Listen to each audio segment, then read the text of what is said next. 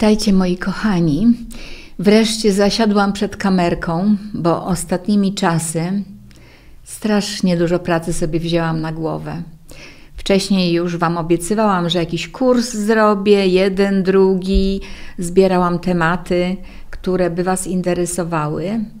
No i oczywiście dzięki temu mam jakieś pomysły, co mam tworzyć, co Was interesuje.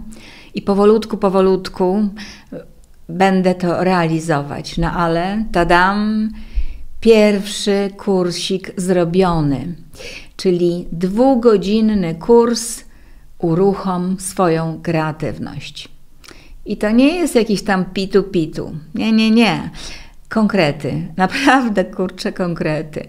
I nawet jestem zadowolona, bo przebrnęłam przez y, naukę y, takich programów edycyjnych, a więc to wygląda przyzwoicie, technicznie, z czego się bardzo cieszę, bo muszę przyznać, że nawet mi dużą przyjemność sprawia, jak mogę tą wiedzę, e, z którą się z Wami dzielę, mm, tak e, jakby przedstawiać w takiej fajnej formie, w fajnym opakowaniu. Mnie się podoba, ale zobaczymy, zobaczymy jak tam Wam przypadnie do gustu. No ale meritum sprawy to jest zawartość tego kursu. Jak wiecie, ja z kamertonami planetarnymi mm, ostatnio dużo się bawię. Oczywiście wszystko ubieram w takie słowa, e, że to jest zabawa, no bo co byśmy nie robili, jeżeli robimy to z przyjemnością, no to można powiedzieć, że mamy dobrą zabawę, ale przy okazji robimy dobrą robotę. Tak więc kurs mam nadzieję, że jest na kieszeń e, większości osób. Mm, naprawdę jest duża dawka informacji. Podaję, które kamertony, w jakie punkty, omawiam zasadność te, tego, mm, tego, co tam prezentuję. Także bardzo konkretna wiedza. Ja myślę, że My naprawdę możemy y, sporo zrobić w odniesieniu do własnych możliwości, bo większość z nas jest w takim stanie takiej degrengolady totalnej. Ja znam te stany też dokładnie, kiedy nie chce się chcieć. To jest chyba najlepsze określenie.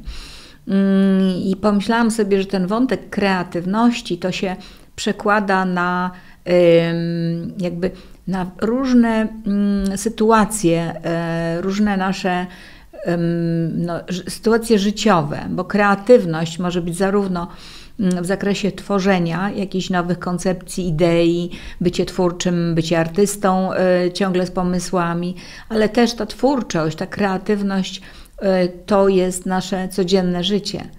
Także mm, ja tutaj nie tylko podchodzę pod kątem e, takim artystycznym, gdzie fajnie mieć nowe idee i wiedzieć, jak pisać piosenki, powiedzmy, czy jak malować obrazy.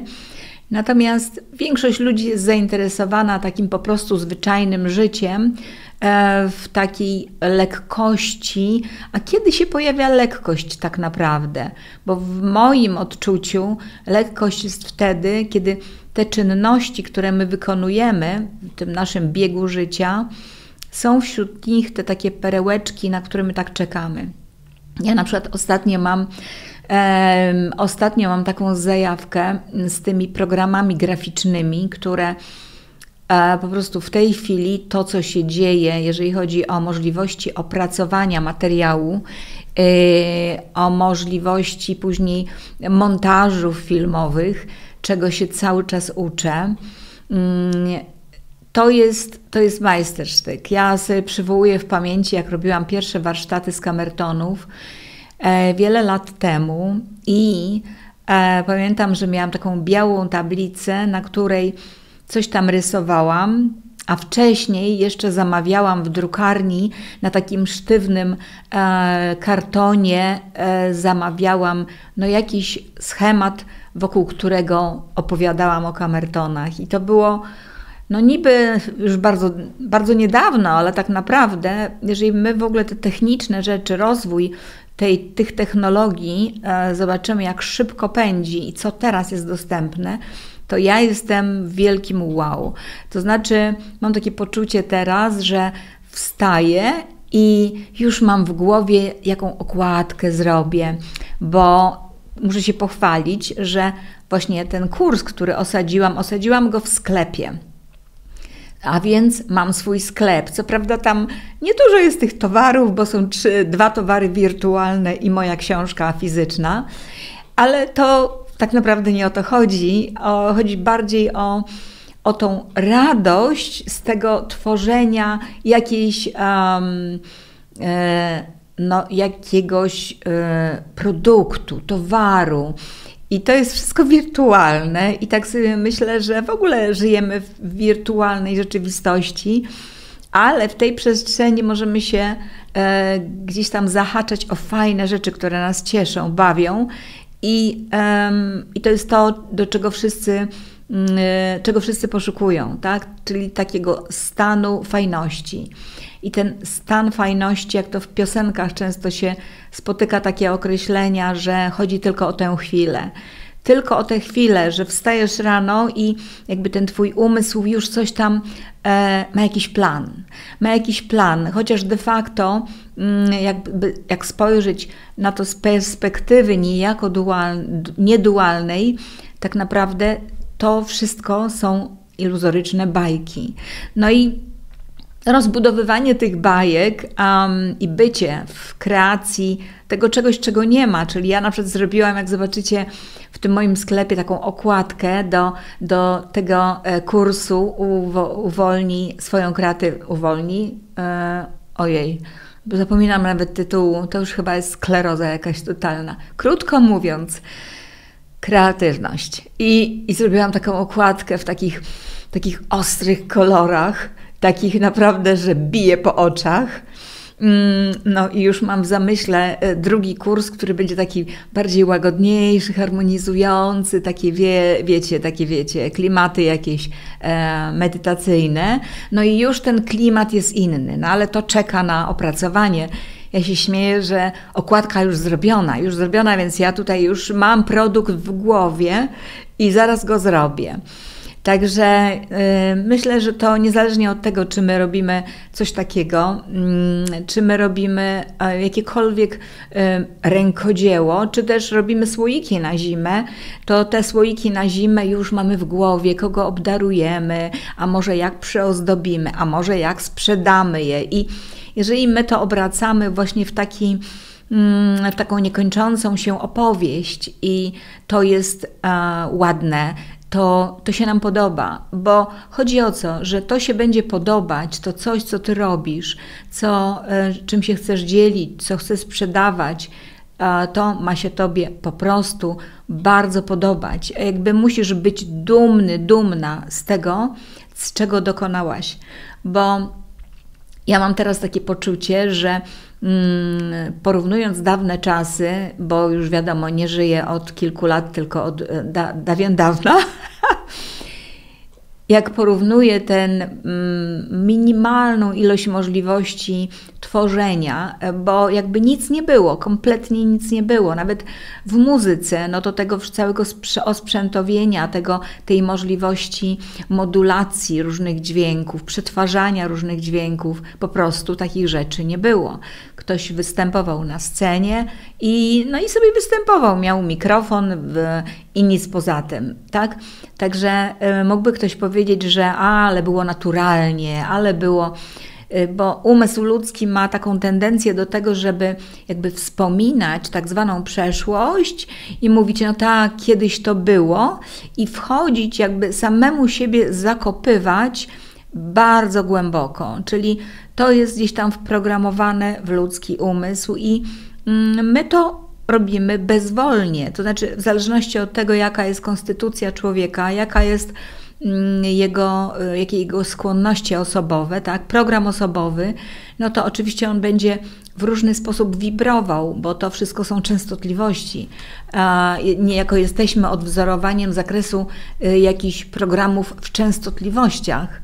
A więc może to dziwnie brzmi, ale jeżeli podejdziemy, że to są częstotliwości, no to wtedy zrozumiałe jest, że mogą nas częstotliwości stroić i mogą nam, jeżeli jest, jeżeli mamy, powiedzmy, nawet jeżeli mamy samochód, który długo stoi w garażu, to musimy go, musimy go rozgrzać, przejechać się nim i rozruszać go. I to jest tak z nami, to jest dokładnie tak samo, czyli jeżeli wiemy, że nasz potencjał pod każdym względem, nasz potencjał jest większy niż ten, który sobie zdajemy, z którego sobie zdajemy sprawę. Tak? Zdajemy sobie sprawę z tego, co akurat funkcjonuje, co jest w danym momencie operacyjne. Natomiast nagle możemy odkryć w sobie pokłady jakichś innych możliwości.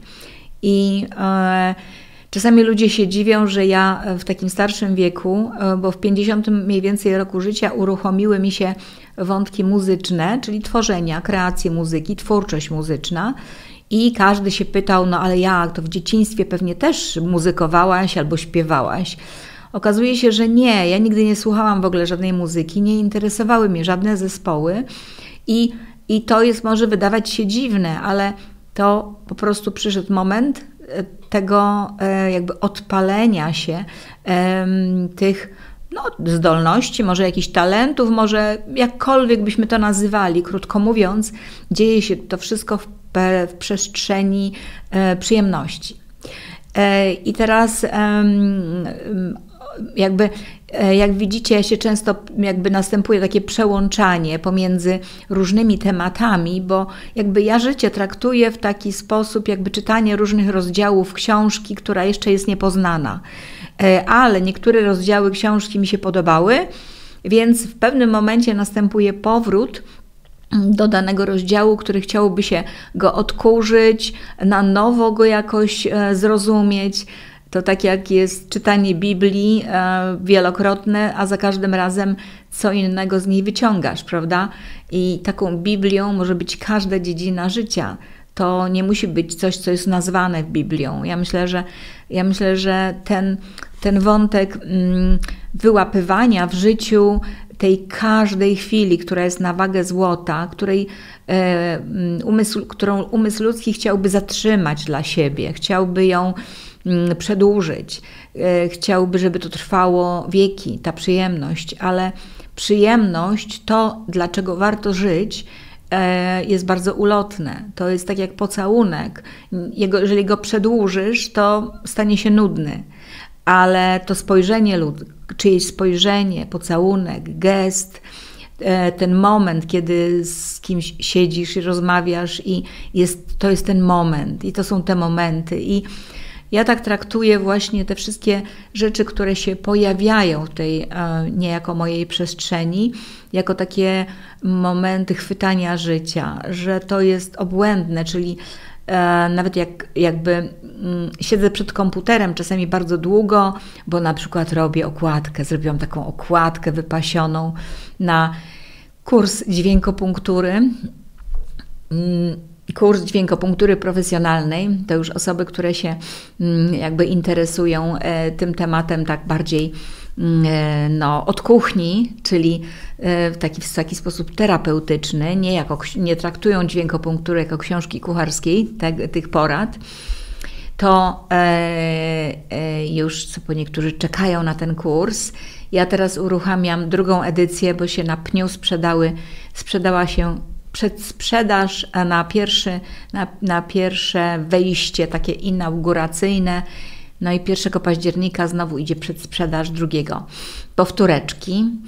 E, bardzo się z tego powodu cieszę, bo kiedyś robiłam to w takiej wersji, no wiadomo, w wersji sprzed lat to było inaczej, a teraz się cieszę, że mogę dodać te wszystkie aspekty techniczne i to jest to jest po prostu mega, bo jakby ten sam temat, niby ktoś by mógł powiedzieć, że kotlety odgrzewane, ale nigdy nic nie jest tym samym. Nigdy nic nie jest tym samym.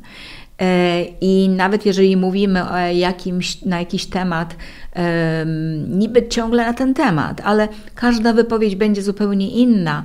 Natomiast jak jest jakaś przerwa pomiędzy mówieniem e, o tym samym, e, pomiędzy wykładami, to okazuje się, że to, co następuje potem, jest już kompletnie czym innym, bo jakby też ten człowiek jest zupełnie kim innym, jest większy sposób, sposób jakby jest sposób rozumowania, sposób pojmowania tej rzeczywistości e, inny, tak? E, więc wiadomo, że nawet podejście terapeutyczne do, moje podejście terapeutyczne do pacjentów diametralnie się zmieniło. Ten e, jakby przez czas, tak, ten, ten czas 10 lat, 15 lat, to jest jakby, to jest przepaść. Ja nigdy nie mogłam zrozumieć, jak ludzie mogą ciągle w oparciu o tą samą książkę na przykład sprzed, nie wiem, 30 lat, ciągle wykładać ten sam wykład robić. Bo też są takie mm, historie. I wszystko jedno, czy to będzie naukowiec, czy to będzie um, terapeuta w jakiejś branży, ale um, jakby najpiękniejsze w życiu tak naprawdę jest um, jakby bycie niby w tym samym temacie, niby w zakresie tym samym, ale tworzymy zupełnie coś nowego. To tak jak z muzykami, tak? Widzimy, że są przełomy, jak piosenkarka śpiewa 10 lat temu śpiewała i 20 lat później jak śpiewa. No, później to jest generalnie starsza, no więc e, już się mniej rusza najczęściej. Chociaż jak patrzymy na Cher, to możemy zmienić zdanie. E, I ja gdzieś tam na każdym kroku podkreślam i w, i w, kontekście poradnictwa takiego, tak, tak jak to terapeuta czy lekarz radzi, że my mm, mamy do pokłady do, odkrycia, do odkrywania, nie jednorazowego odkrycia, to jest odkrywanie magii każ w każdej minucie. I żadna minuta nie jest naprawdę tym samym.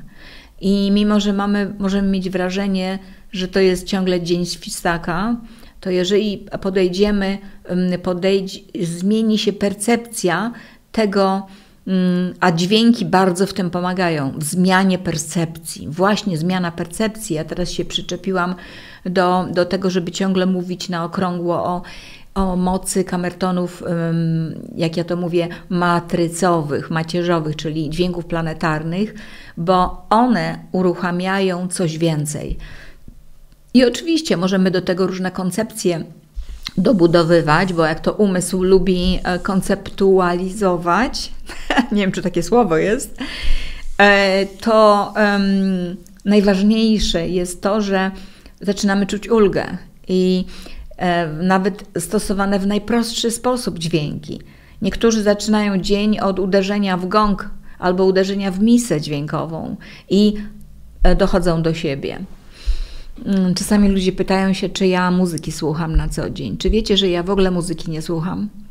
Takiej, mimo że lubię ją tworzyć, e, to bardzo rzadko e, jest tak, żebym ja, powiedzmy, włączyła sobie podczas robienia czegoś monotonnego, monotonnego. Nic nie jest monotonne. No, nawet prasowanie nie jest monotonne.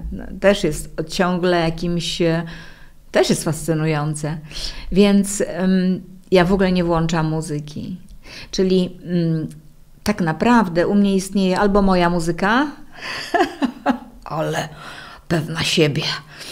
Albo moja muzyka, czyli to jest proces tworzenia. To jest proces tworzenia, bycie w tworzeniu. Znowu tworzenie. Ale mm, też za dużo nie słucham innych. Mam takie wrażenie, że im więcej słucham utworów y, innych ludzi, jeżeli zdarzy mi się, że trochę słucham muzyki, to mam takie poczucie, że gubię siebie, gubię swój rytm, że gubię swoją wibrację. Dziwne, prawda? E, najczęściej muzycy znają wszystkie piosenki na pamięć, e, mogą, e, mogą od razu e, odgadnąć, kto śpiewa. No, w życiu tak nie miałam. Także znowu, każdy jest kompletnie inny. I to budzenie się, właśnie dlatego ja ten pierwszy kurs, obu, o, obudź sobie kreatywność, właśnie uważam, że on jest najważniejszy. To jest takie moje pierwsze dziecko, mm, które się wyłoniło już w tej przestrzeni takiej ładnej, takiej, takiej technicznie ładnej, wraz z opakowaniem. E, myślę, że to jest mm, wartościowe z tego powodu, że mamy narzędzie. Mamy narzędzie, poprzez które możemy siebie roziskrzyć, rozświetlić. I um, wydajemy na różne rzeczy, y, tak, i wydajemy na różne rzeczy, bo szukamy siebie, a teraz możemy mieć technikę, w której ja Cię dokładnie, krok po kroku, uczę Cię, jak to robić detalicznie, detalicznie, gdzie, kiedy, ile i tak dalej. I um, odbieram e, tego typu właśnie tego typu nauczania odbieram jako popychające do przodu. Oczywiście, jeżeli ktoś jest w ogóle w klimacie takim, że ma ochotę sięgnąć po dźwięk, tak? Bo tutaj cały czas chodzi nie o jakieś obietnice, mimo że wydaje się, że to może być obietnica, bo jak jest obietnica, to później jest frustracja, bo każdy sobie jak ja to mówię, lepiej nie słuchaj, nie wierz w obietnicę, bo później możesz doznać frustrację, frustracji, ale chwytaj to, co cię chwyta za serce i co wydaje ci się ciekawe. Bo wtedy nie będziesz miał frustracji i otworzysz się właśnie na takie przestrzenie w sobie, których nie znasz, po prostu totalnie jeszcze nie, nie, nie, nie miałeś czy nie miałaś okazji poznać. Więc um, gorąco, gorąco zachęcam. Oczywiście każdy tu ma też swój interes, to, to jest oczywiste, bo czasami śmieszą mnie takie, e, takie gdzieś tam komentarze, e, że e, komercja, że coś ma charakter komercyjny. Pamiętajmy o tym, że cała kreacja na Ziemi, wszystko co tworzą ludzie, ma charakter komercyjny. I teraz e, to jest następna rzecz, ta otwartość na tworzenie i jakby zobaczenie tego, że wszystkie mechanizmy komercji, wymiany, to jest wymiana energetyczna, są e, charakterystyką tej przestrzeni i nie ma w nich nic absolutnie złego, to wtedy zupełnie się zmienia podejście do tego, żeby czerpać e, z koncepcji, koncepcji innych ludzi i żeby doceniać to, co oni dla nas robią. To, co dla nas robią, oczywiście wydatkują się też energetycznie i to jest ta energia. Więc e, naprawdę zachęcam do takiego spojrzenia na to z taką większą lekkością e, dla tych, e, dla tych osób, które wiedzą, o czym ja mówię w tej chwili. No i tak, i tak samo bardzo zachęcam wszystkich do uczestniczenia w wydarzeniach dźwiękowych z dźwiękami naturalnymi, bo wiecie dobrze, że jest już coraz więcej osób, które we wszystkich miejscach na świecie, no nie wiem, może nie we wszystkich, ale E, w wielu miejscach na świecie uruchamiają gongi, misy, kamertony coraz częściej, żeby jakby uczestniczyć w tym. Naprawdę tego typu mm, wydarzenie jest e, dla ciała jest metodą na wskrzeszenie właśnie tych jego możliwości. I jeżeli ta osoba, która wykonuje mm, te czynności, czyli przeprowadza takie kąpiele, jeżeli ona sama jest w tym, jest jakby zauroczona tym tematem, widać, że ona płynie w tym. Czasami niektóre osoby śpiewają, i jeżeli my się czujemy dobrze, oczywiście w wibracjach, e, tych wibracjach i wibracjach tej osoby, to jest, uważam, najlepsza metoda na leczenie. Ja robię takie sesje, e, które nazywam sesjami harmonicznymi, no i oczywiście co dwa tygodnie, mniej więcej tam co dwa tygodnie. E, I widzę, że feedback jest fajny. Widzę, że nie tylko mogę powiedzieć, że mi się podobało. No, mi się podoba, ale też fajnie jest, że ja gdzieś tam później słyszę, że ludzie się czują lepiej. Często, często spotykam takie, um, takie właśnie podziękowania, często się z tym spotykam. Podziękowania, że sprawiłam, że życie stało się e, fajniejsze, lżejsze. No więc to są takie wątki, które na pewno bardzo popychają do przodu, na pewno bardzo zachęcają do, dalszej, e, mm, do dalszego funkcjonowania właśnie w obszarze dźwięku. No i, i tak, ja jestem w ogóle osobą, która uważa, że wszystko, że my wzajemnie sobie możemy bardzo pomagać poprzez dzielenie się różnego typu możliwościami, właśnie kreacji, e, w której to kreacji my się uzdrawiamy. Czyli bardziej byłabym skłonna mówić nie to, że my się, że ja cię nauczę siebie leczyć, bo te, tego typu określenia w ogóle są ze mną niespójne. Ja się bardziej identyfikuję z takim z takim stwierdzeniem: ja, ja Ciebie nauczę, ja Ciebie nauczę, jak bawić się w obrębie magii tego życia. A jeżeli się bawisz, to wiadomo, że nie chorujesz bo w przestrzeni bawienia się w magii życia nie ma miejsca na choroby, nie ma miejsca na, na okrągło, na badanie się, na profilaktykę prozdrowotną pod hasłem badamy się i szukamy i czekamy na choroby. Tego nie ma. I może to być niezgodne z bardzo wieloma postaciami w kręgu białych fartuchów, mm, ale my mamy zawsze prawo wyboru Możemy wybierać koncepcje, które robią nam dobrze i e, jak ja to mówię, merdamy do nich ogonkiem, albo nie i idziemy swoją, w swoją stronę. Tak więc zachęcam, dawajcie feedbacki, jak ktoś się zdecyduje.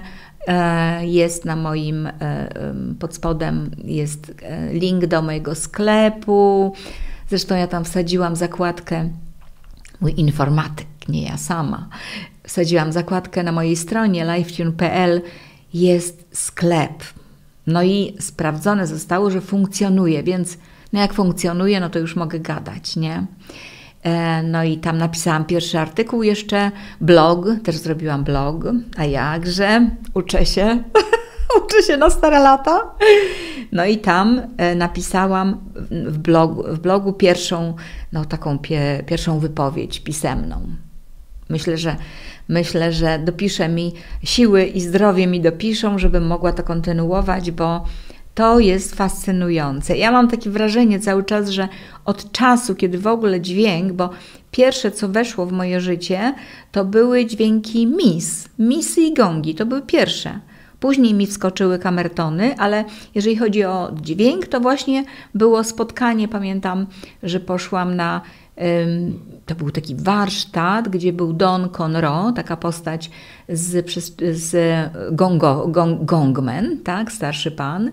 I tam był mm, Tom Soltron, też taka postać, e, e, człowiek, który wystartował bardzo wcześnie w tej, w tej sferze, jak jeszcze w Polsce tak naprawdę te rzeczy były, były no, jakby zajawki dopiero.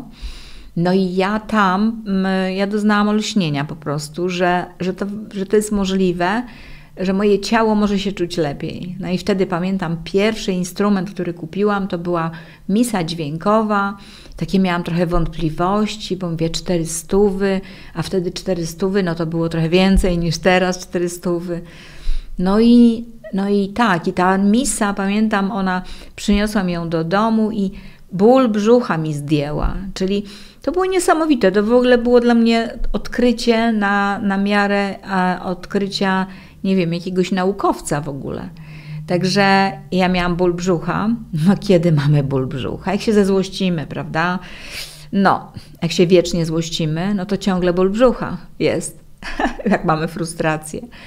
No i położyłam sobie tą misę na brzuchu, pouderzałam. Na początku misa nie grała, więc się trochę zdenerwowałam, że wybuliła mnie potrzebnie. I w momencie, kiedy ona zaczęła grać, czyli ruszyła z dźwiękiem, tak, w jakiś cudowny sposób ból brzucha ustąpił. Także Pamiętam wtedy, no zachwyciłam się wtedy gongami i, i to były takie moje pier, pierwsza wrzuta i mówię, stosunkowo niedługo potem gdzieś tam zetknięcie z kamertonami e, i znowu nowe spojrzenie, nowe koncepcje. Wow, to jest niesamowite. I ja mm, muszę Wam powiedzieć, że ja zawsze miałam takie poczucie, że te dźwięki gdzieś pochodzą z nieba, jakby od, Pana Boga. Znaczy, z tym Panem Bogiem to może nie przesadzajmy, ale one gdzieś z góry pochodzą, e, z jakiejś innej przestrzeni. I ja zawsze miałam takie poczucie, co na górze, to na dole. Zresztą to, co się przejawia u mnie bardzo często w wypowiedziach. Tak, co na górze, to na dole. Przecież jest jakiś wzorzec, jakiś wzorzec wibracyjny czy częstotliwości, jakieś, które są wzorcowe. Przecież jest jakaś powtarzalność, jest fraktalna powtarzalność, nie? No i no i tak kroczek po kroczku, bo na początku to nikt mi nie, nie, nie umiał odpowiedzieć na to pytanie, bo ja wszędzie tą muzykę sfer zadawałam pytania. Muzyka sfer. Jak byłam na warsztacie kamertonowym, no to też, ale nikt nic nie wiedział na ten temat. No i doszło do tego, że E, no jak nikt nic nie wie, no to ty musisz coś zbudować. musisz coś zbudować, tak? I, I, to, było, to było piękne. Później miałam kontakt z, Hans, z Hansem Kusto, y, który napisał kosmiczną oktawę.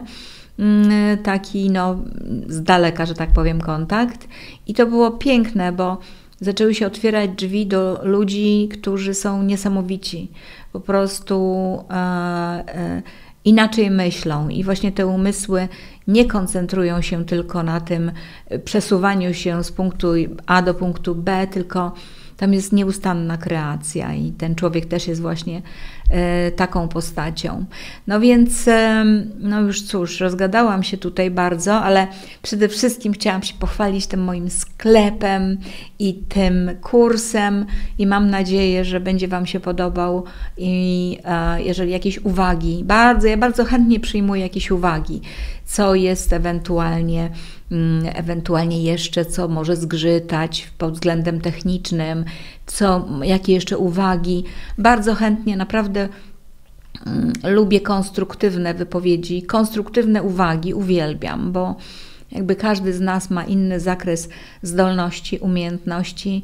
E, mam takiego e, mojego fana Filipa, którego pozdrawiam serdecznie, który jest kochany po prostu, bo on mi zawsze jakieś, jakieś tutaj pomysły, przychodzi do mnie regularnie na sesję. Tak, Filipku, o tobie mówię regularnie na sesję i przeżywa je całym ciałem i duszą i jest kochanym człowiekiem, po prostu pomaga mi e, w, też w budowaniu e, jakiejś nowej przestrzeni takiej, no ktoś by powiedział komercyjnej. Tak, dokładnie, dokładnie. Ale poprzez to ja mogę się więcej dzielić, bo jakby mam e, w tym momencie na to środki, tak? Mm, więc pozdrawiam Was, kochani, z całym, całym sercem. Piszcie, komentujcie, jak Wam się to podoba. Nadal jestem otwarta na wszelkie propozycje tematyczne i ja będę tak stopniowo, kroczek po kroczku, a ci, którzy już czekają i przebierają nóżkami na ten um, dźwiękopunkturę profesjonalną, drugi rzut na taśmę, no to 1 października będzie sprzedaż. A wiecie, ja to mam małą powierzchnię, więc tak, zapisze się tam 12 osób i, i nara, i koniec, więc um, jak ktoś chce, to się pospieszcie, bo to w tym roku to już ostatni e, z, ostatni, że tak powiem, wybieg, wybieg na scenę. Przytulam, pozdrawiam buziaki i do następnego razu.